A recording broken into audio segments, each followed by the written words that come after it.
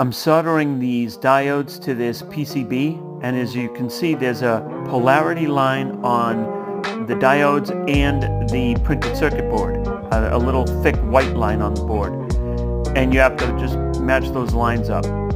Now I also gave uh, the diodes a little bit of stress relief and now I'm going to solder the back of it. And you just pull them to the side so you know the diodes won't fall out. And um, then you clip them. When you clip them, you'll see some of the lead and you can always reflow to reflow some of the solder on the, the part of the lead that you cut off. And once you do it, you'll see what I'm saying. Some people cut it before they solder it. Uh, I like to solder it and then cut it. And then clean the board with alcohol.